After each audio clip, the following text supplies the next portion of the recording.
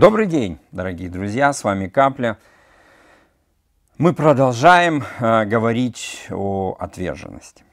Итак, вы чувствуете, что вас э, не впускают в то или иное сообщество, вы пытаетесь стать частью, э, но вы чувствуете, вы переживаете отторжение. Вас, знаете, как вот магнит с одинаковыми полюсами, вы отталкиваетесь. Я хочу вам предложить, чтобы вы подумали вот о чем. Вам нужно это или нет? Возможно, э, вы хотите быть там, но вам там не нужно быть. Может быть, Бог таким образом говорит, что вам э, нет необходимости в интеграции в это сообщество.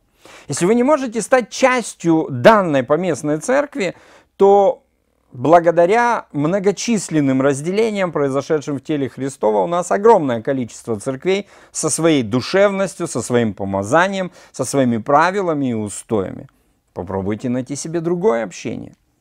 Если вы наталкиваетесь на проблемы, связанные с принятием вас в то или иное внутри церковное сообщество, также задумайтесь, нужно ли вам это. Скорее всего, Господь просто не дает вам возможности совершить какую-то ошибку, как это было, например, с апостолом Павлом, который хотел пойти в миссию ради того, чтобы проповедовать там Евангелие, но Дух Святой его туда не пустил. Как именно это произошло, мы не знаем, но Бог может стать против нас и перекрыть нам дорогу.